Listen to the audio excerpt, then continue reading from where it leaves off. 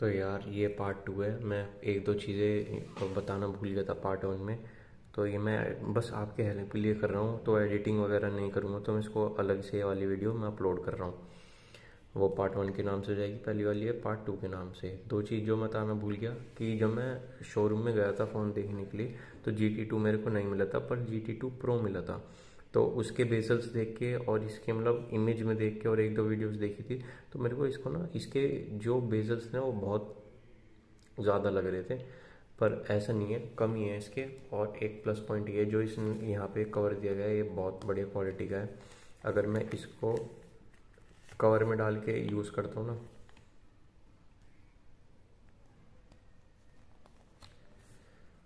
तो इसके ना बेजल्स आपको ना बिल्कुल कम लगेंगे और ये ना मेरे को बिल्कुल जी टी टू प्रो के और यार चढ़ जा।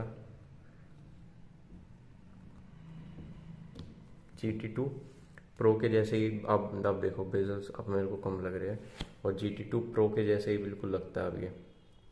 बेजल्स इसके एक पॉइंट ये हो गया और दूसरा पॉइंट जो था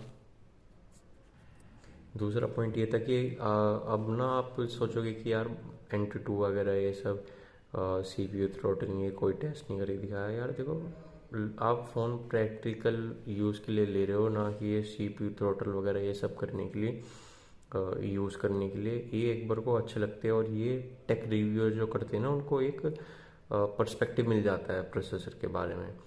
तो सी पी यू थ्रोटल वगैरह करोगे तो दो लाख से तो ऊपर स्कोर मिलेगा आपको और हीटिंग इशू नहीं आएगा थ्रोटल भी नहीं होगा और एन टू की तो बात करोगे यार, इसको छोड़ दो। ट्रिपल एट प्रोसेसर मिल रहा है आपको एन टू टू अच्छा ही सब बढ़िया होता है। अब अगर आप पिछले साल के जी टी जी टी देखोगे तो उनके एन टू टू स्कोर गिर गए हैं, पर फिर भी अच्छे चलते हैं। तो इनसे इतना मैटर नहीं होता और एन टू टू स्कोर ऊपर नीचे किए जा सकते हैं। और ये तो ये बात याद रखना। और तीसरा फीचर मैं ये बता रहा था कि जैसे आप जी टी मोड ऑन करते हो ना, और ये मस्त सा लोग बन के आता है, और इससे ना ये भी ऑन हो जाता है O one ultra vision engine अभी मेरे को इसका पूरा फीचर तो मेरे को पता नहीं है बट मेरे को ये देखा है कि अगर लैग मतलब अगर आपको गेम में गेम अगर आप खेलते हो जीटी मोड ऑन करके तो बिल्कुल स्मूथ मतलब बहुत स्मूथ परफॉर्मेंस मिलती है। आपको कोई भी लैग वगैरह महसूस नहीं होगा।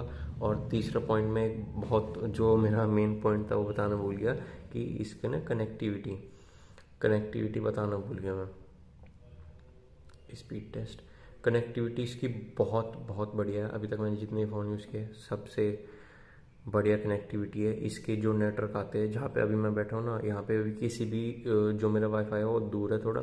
तो किसी भी, जितने भी डिवाइस है मेरे घर पे तो किसी भी डिवाइस का जो स्पीड टेस्ट होती है, वो हंड्रेड परसेंट नहीं आ पाती। पर इसका देखो hundred M B P S नहीं आ पाती और मेरा hundred M B P S का प्लान है। ये देखो कितनी अच्छी स्पीड दे रहा है यहाँ पे।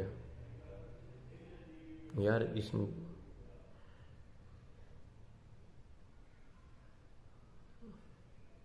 और ये मैं अभी किसके साथ कर रहा हूँ? मैं फोर जी वाले के साथ कर रहा हूँ।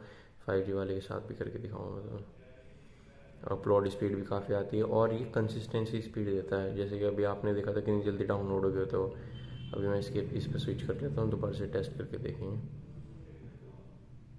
और एक और बढ़िया बात है, जैसे अगर आपने कभी एप्पल का डिवाइस यूज़ किया होगा ना, उसमें जैसे ही आप वाईफाई ऑन वाईफाई का बटन दबाते हो तो एकदम से ही कनेक्ट हो जाता है, एकदम से यहाँ पे सिग्नल आते हैं, इसी में, इसमें भी वैसे ही होता है बिल्कुल। तो ये तीन पॉइंट बताने थे जो पहली वीडियो में मिस हो गए थे।